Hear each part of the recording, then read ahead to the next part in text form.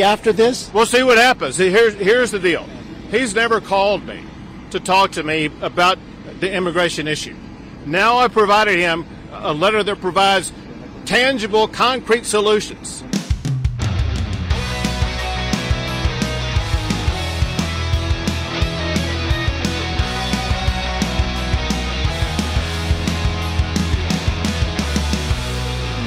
Our lead story of the day is regarding President Joe Biden finally visiting the border wall. It's just taken the man two years, folks, but we've been talking about it for that long as well. Going back to even COVID days, if you recall, we talked about stories where they were jamming 400, 450 people into pods at the southern border that were only supposed to hold like 100 and 150 people. They literally had to ask the CDC to up the quota from 50% to 100% capacity because they didn't have enough space for all these people. And you're going back like two years ago. But if you recall, Jen Psaki of the Times said this is just a challenge. We're going to figure it out. It's Joe Biden's number one issue. He's losing sleep over it.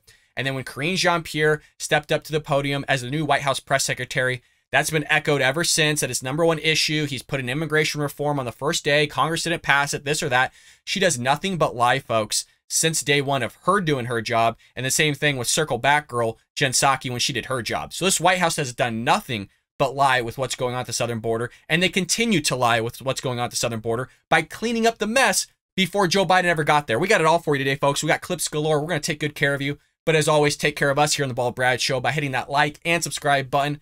Making sure you're leaving us a nice, short, sweet comment down below. The YouTube algorithm absolutely loves you engaging with the channel. And just take a moment to make sure that YouTube did not go in your profile and change your bell notification icon. Make sure and double check, folks. It actually says all notifications. They are known to do some shady stuff around here. Your help and support would be greatly appreciated. Well, before Joe Biden actually went to the border, this was about a day or two before, um, Karine Jean Pierre blatantly lies to the American people. Now, we talk about her lying all the time, you guys.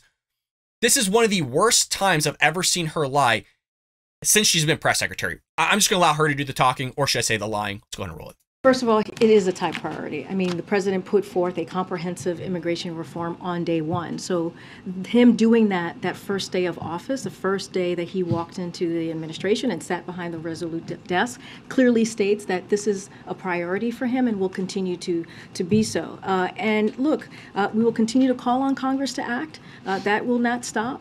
And look, I, I also want to just put this in a broader context here. The president inherited a mess because of what the last administration did. They inherited a, we inherited a mess.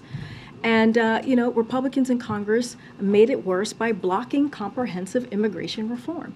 And so, what you're seeing from this president is he's acting. He's acting to protect, uh, to continue to protect the border, secure the border, and also deal with irregular migration. That is what he's going to continue to do that. So, the enforcement measures we announced yesterday so as you can imagine, she continues to bamble and, and, just go on, just like her boss does, not making any coherent thoughts, just lying to the American public left and right.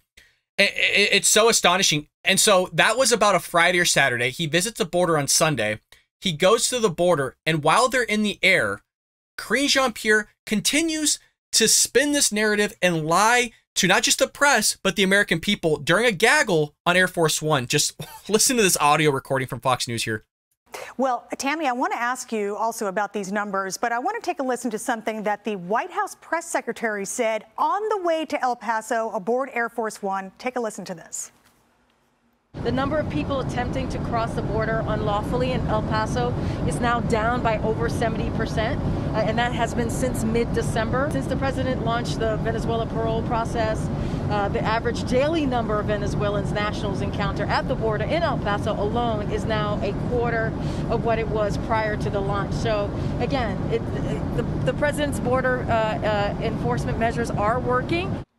wow. Tammy, yeah. the president's border enforcement measures yeah. are they're all laughing as as are we here. It, it's so laughable and the spinning of the numbers the manipulation of talking about venezuelans compared to there's a lot of other places that are coming through the southern border there but we're going to hyper focus on one. Oh his policies are working. You guys you really think his policies are working? Do you really? Does anybody for the love of god that at least follows our channel here really believe that? And what's even more astonishing is you have greg abbott here conducting an interview and kind of talking about joe biden's visit and all these things and he mentions mentions how Joe Biden actually never has called him. In two years, Joe Biden has never called this man who's been handling this crisis along with Doug Ducey of Arizona for the last two years or at least.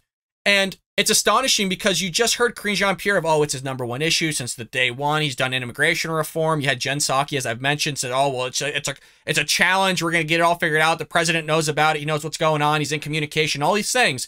Turns out the guy's never even called the man that's dealing with the shenanigans down at the southern border that was created by Joe Biden. It's unbelievable. Just listen, listen to Greg Abbott here of Texas. He needs to step up and, and take swift action, uh, including uh, reimbursing the state of Texas for the money that we spent, but providing more resources for the federal government to do its job.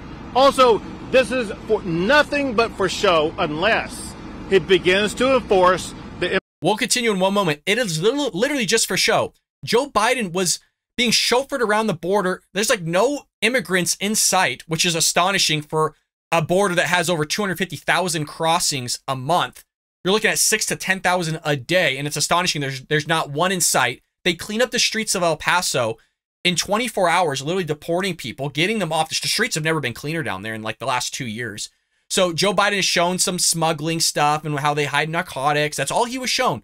Nothing actually went on down there other than Greg Abbott handing him a piece of paper that will get him, hopefully, to solve this issue. But what a freaking gong show going on. It's like as if you're going to go around North Korea and they're only going to show you the sites that are the best looking. They're not going to actually show you what's under the hood, what's really taking place in North Korea. Basically, the same thing happened here. Joe Biden doesn't have a damn clue. But let's listen to Greg Abbott here. Continue with the shenanigans by the Biden administration. Immigration laws already that exist in the United States of America that are contained in the letter that are provided to the president today. How did the president respond to you? to you? He said he wanted to work with us on it. So he was pretty cordial. Yeah, he was cordial. Do you expect to meet with him personally? It's not hard being cordial with somebody that's, that has dementia. The dude doesn't even know where he's at. He probably thinks he's on vacation right now. We'll get to the point of him wanting to work with Republicans because it's actually false. They actually stopped Republicans from meeting with Joe Biden at that place. It's wait till we get. I mean, the lying, you guys. I know I say this every week, but really, this whole thing, the lying is so out there in the open, it is head spinning. After this, we'll see what happens. Here's here's the deal. He's never called me to talk to me about the immigration issue. Now I provided him a letter that provides tangible, concrete solutions that will stop illegal immigration. And I expect him to call to me, and that's what Secretary Mayorkas also said urge him in the letter uh, to see the real chaos. What everybody here may already know, and that is that there were thousands of migrants sleeping on the streets in El Paso that have been cleaned up in the past few days. How convenient. And I asked him to go see the areas where we have these mass migration crossings and go visit uh, with the people who own property and live on the border whose lives have been totally disrupted. And as you can imagine, we don't really have evidence if Joe Biden did or didn't do that. I doubt that he would go do that. Uh, I mean, Secret Service down there, not betting everybody, not being able to do it. I mean, there's that whole thing. But you guys, it is astonishing. In two years, from an administration that's been saying since day one, every time there's a press briefing, every time somebody talks about this whole thing, is it's always it's a it's a main topic. It's his number one issue other than the economy. He's really working on it.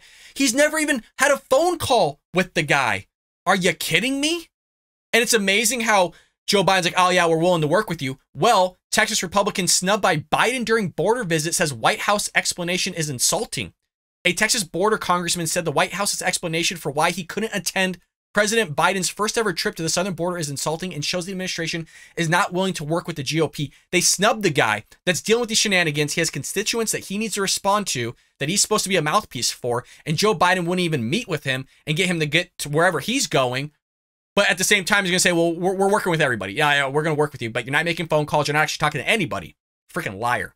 Well, Texas Republican Tony Gonzales of El Paso, of El Paso, where Joe Biden was at, by the way, where there's this massive bleep storm taking place, was snubbed by the White House on Biden's visit to the district, which covers a large swath of the southern border. A White House spokesperson told Fox News Digital that the snub of Gonzales was due to space constraints. Space constraints. You're in the middle of a freaking desert.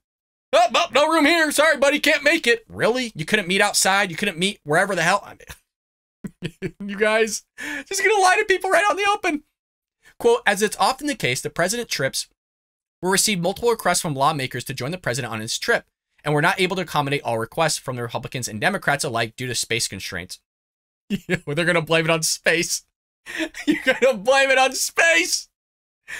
Thousands of people have space to make it across illegally, but you don't even have space for the freaking congressmen and women to sit there and meet with the president of the United States that are dealing with this issue, and you're going to blame it on space.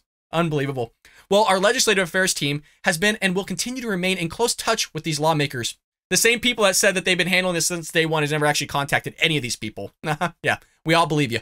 The Texas Republicans told Fox News Digital that the White House's space constraints assertion for his snub is insulting, and the White House is refusing his attendance shows the administration is not willing to work with Republicans to address the border crisis. You have Doug Ducey handing them personally the letter. What's going to solve and fix it, at least in his mind? You think Joe Biden's really going to do it? I don't think so. I don't think so. This idiot hasn't figured it out in two years. You think he's going to figure it out now? All the all the people that's around this president two years from the book that's that's literally comes out on the 17th is talking about how the lack of solutions is coming out of the White House. Well, now he has solutions. We'll actually see if he figures it out because somebody else figured it out for him. But, you know, we all know Joe Biden, his dementia is going to kick in. He's not going to have a clue. He's not even going to remember that he visited the border, you guys. He makes up stories about his own family that he thinks happened. You think he's going to remember this? I don't think so. Quote, I find it insulting that President Biden blames space constraints for ignoring my request to accompany him on a visit to El Paso County, which I represent in Congress. You'd think you would have the guy that represents the county that you're visiting in to actually be there with you. But no, no. Too much to ask for from Joe Biden, folks. You got to be kidding me. For two years, administration has pointed fingers at Republicans for not wanting to act in bipartisan manner on border pol- policy, which we've said time and time again, which is absolutely astonishing. The fact that they're blaming it on Republicans, as you just heard from Karine Jean Pierre herself, when they literally had all three branches of government for two years and got nothing done. In contrast, by not inviting Republicans on this trip, specifically the Republican member who represents El Paso it shows they are not willing to work across the aisle to fix the crisis on the southern border. And then what they're going to do is, like as you heard, they're going to blame it on uh, you know, space and time constraints and all these other shenanigans. Well, it's a bunch of hocus pocus, folks. But let me know what you think about this in the comments below. It was a gong show there at the southern border. He made the trip down there. He walked around in some dirt, looked around, looked up and down, and then he was done with it. So we'll see if anything actually comes about of it. But like I said, I want to know what you think about that one in the comments below. I hope you enjoyed that clip from the Bald Brad Show. If you did, make sure to hit that subscribe button so you can stay up to date on all our future content.